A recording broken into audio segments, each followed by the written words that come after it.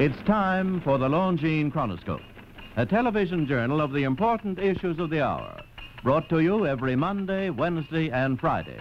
A presentation of the Longines Wittnauer Watch Company, maker of Longines, the world's most honored watch, and Wittnauer, distinguished companion to the world-honored Longines. Good evening, this is Frank Knight. May I introduce our co-editors for this edition of the Longines Chronoscope? Larry LeSueur of the CBS television news staff, and Kenneth Crawford, National Affairs Editor for Newsweek magazine. Our distinguished guest for this evening is Ancher Nelsen, Administrator, Rural Electrification Administration. Mr. Nelsen, here in a big city, uh, even the poor of the stuffs take uh, electric light and power for granted. But how much of the United States is actually without it right now? About 9% of the farms in America are still without electricity. Well, we talk a lot about uh, aiding underdeveloped nations here on this program, and we've heard a lot about it in the United Nations, but how much would the electrification of the whole United States help us in building up markets here?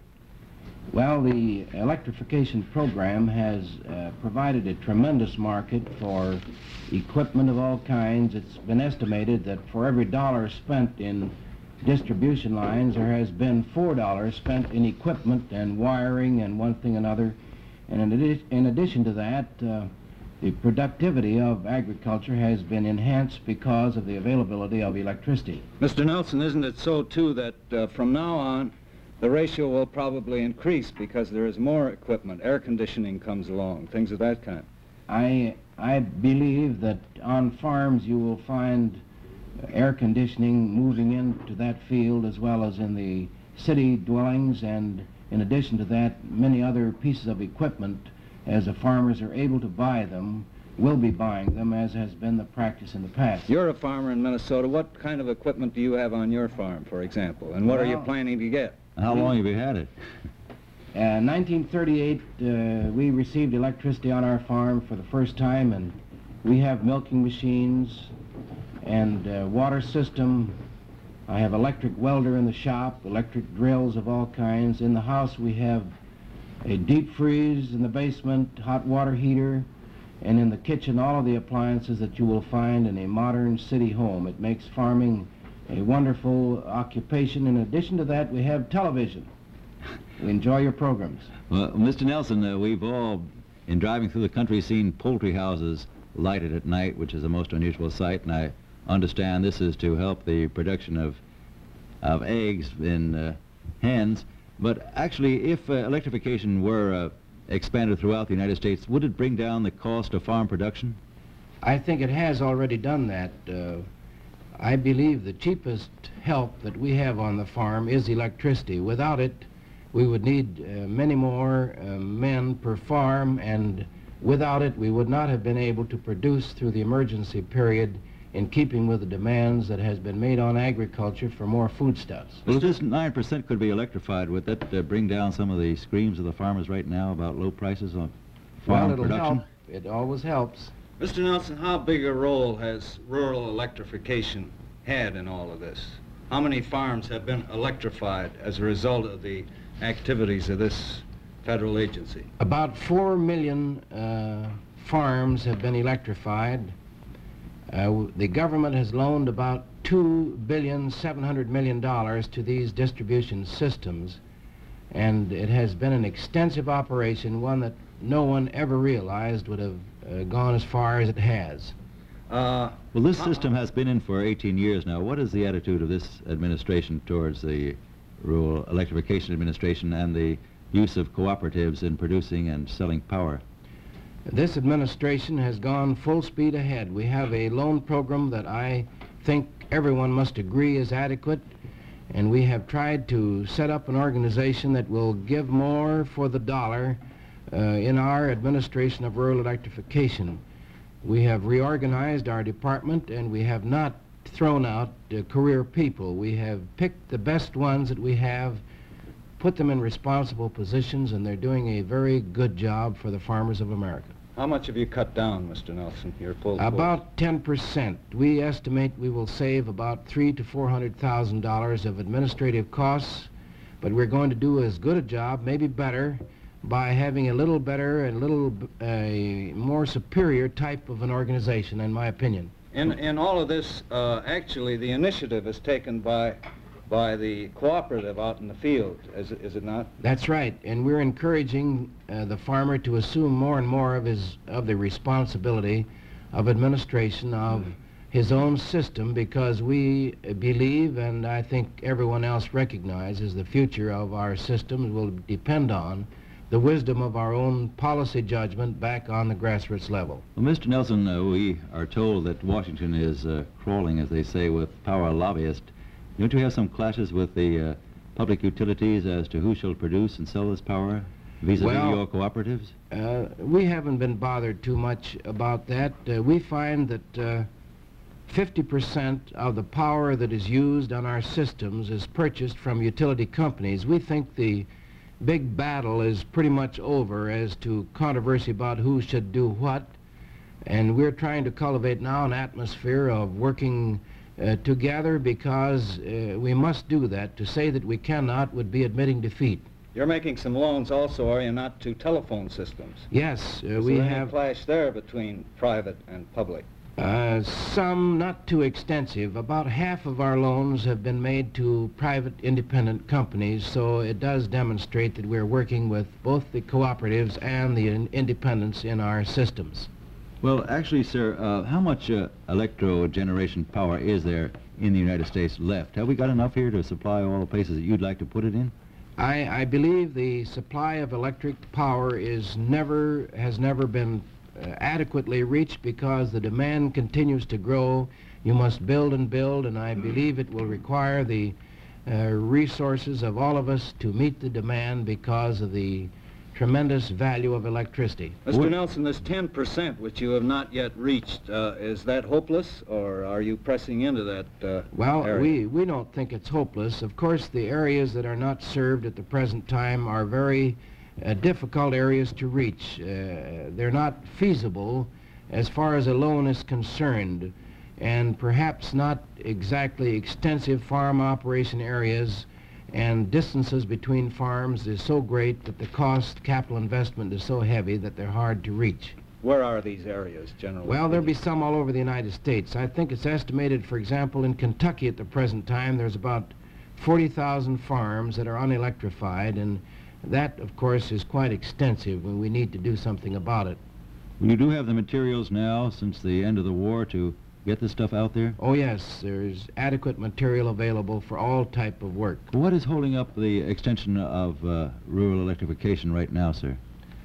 I believe the only thing that holds up the completion of the job is the fact that under the terms of the Act, the REA Act, loans are to be made only to areas and to projects that are considered to be feasible or will repay to the government with interest. So when these loans are calculated, if it appears that the there is not an adequate income there, the result of it would be that we couldn't, under the law, make the loan. But the projects, uh, many of them are so successful with existing systems, they're beginning to reach out and try to pick up some of these unserved farms. What's your experience on repayment, Mr. Nelsen? Do you get this money back? Uh, so There's far, about a $3 the, billion dollar investment, I think you said. so far the uh, experience in that respect has been very good. Uh, however, it must be admitted that uh, we have a five-year period uh, to get our systems in shape before amortization payments come due. And it's evident that in some cases there will be projects in some difficulty, but we hope to help them uh, organize their administration so they can repay. But up to date, there's only two-tenths of 1% of delinquency as far as interest and amortization is concerned. Well, sir, do we have enough electric uh, generative power in the United States? Uh, do, have we harnessed every bit that there is of hydropower? Well, no, there's hydropower uh, still to be developed, and we hope uh, one of these days there there will be some cheaper means found, uh, perhaps in atomic energy. I see. Well, as a last question, I'd, I'd like to ask you, sir, do you feel that the uh, development of atomic energy for uh, peacetime uses will have a, a great benefit to the uh, rural areas of the United States? I think that in the field of of generation of electric power, that atomic energy will someday be a blessing uh, to the country. And certainly, if we can get electricity at a cheaper uh, cost, there's no limit to how much we can use. Well, how far off do you think this is, sir? Well, I- I've heard some estimate two years, some 10, some 20. I wouldn't know. I'm not an engineer, but my guess is that it would be, would be from uh, 10 to 15 years. And you think this would bring down the price of food and uh, farm production all over the United States if this power could be extended to everywhere? Oh, very definitely. Well, what in what particular way would it reduce costs? Well, for example, on the farm, uh, uh, we use it, as you mentioned, with our poultry. We use it with our milking machines. We grind feed. We might dry hay. We might dry grain. We might dry our corn. There'd be any number of things we could use it for if we could afford to buy it at the price that it's costing to generate it. It would be cheaper, won't it, when you can have lots of small atomic plants? I think so. Your transmission costs would be cut down because it's assumed that the capital investment in generation through atomic energy will be much lower. Well, thank you very much, uh, Ms. Nelsen, for being here tonight and bringing us this interesting information. Happy to be here. The opinions you've heard our speakers express tonight have been entirely their own.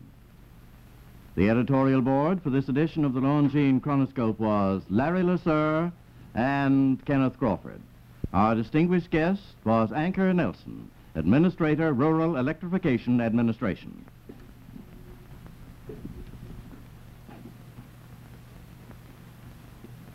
If you're contemplating the purchase of a very fine watch as a Christmas gift, it will be profitable to compare the facts you have about Longines watches with the facts you have about any other timepiece.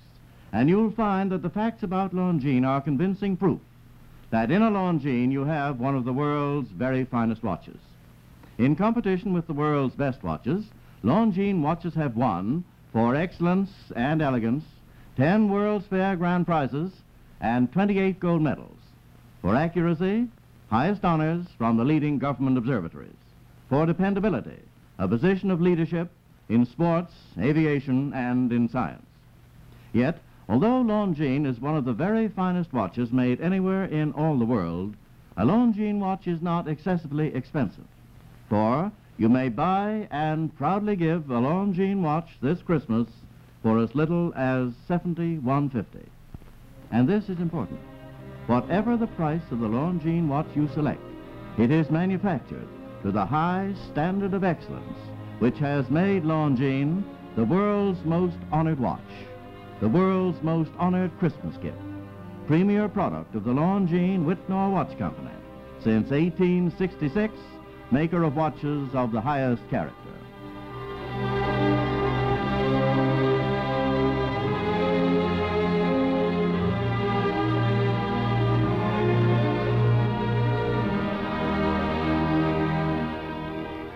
This is Frank Knight, reminding you that Longines and Wittnauer watches are sold and serviced from coast to coast by more than 4,000 leading jewelers who proudly display this emblem.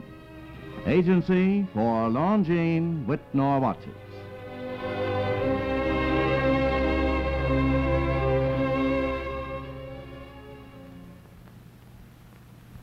There is only one Atmos, the perpetual motion clock created by LeCoultre.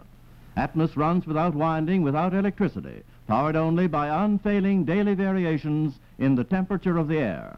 Atmos, product of LeCoultre, division of Longines Wittnauer.